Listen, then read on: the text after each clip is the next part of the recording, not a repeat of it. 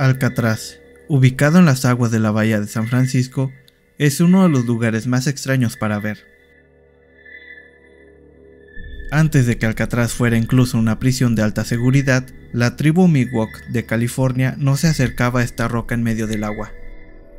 Decían que la roca que sobresale del centro de la bahía de San Francisco estaba habitada por espíritus malignos.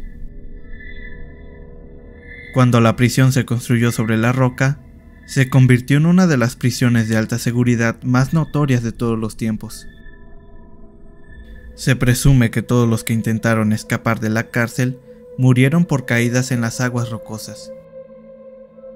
Pero si eso no te mataba, tu siguiente preocupación serían los tiburones que infestaban el agua. La prisión era infame por los criminales que albergaba adentro, por un encierro inhumano y los asesinatos que sucedieron dentro de los muros de la cárcel.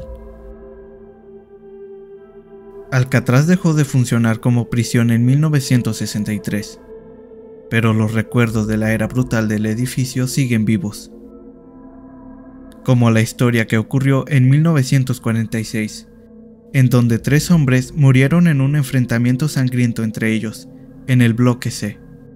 Ahora en estos días los empleados del Parque Nacional creen que este bloque está embrujado.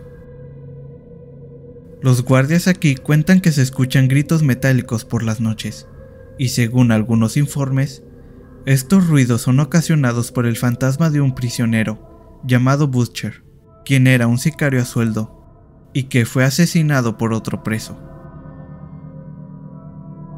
Sin embargo, el lugar más embrujado del edificio es supuestamente el agujero, la celda 14D una celda de confinamiento solitario.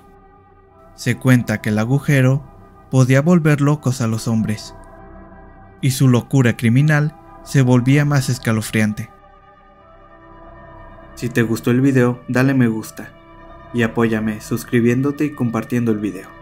Gracias. Parece que Alcatraz siempre fue una isla maligna, pero construir una cárcel sobre ella, el gobierno de los Estados Unidos agregó más a la mezcla de maldad, mientras condenaba a otros a morir ahí. Déjame tu opinión en los comentarios. ¿En verdad esta isla es un lugar maldito?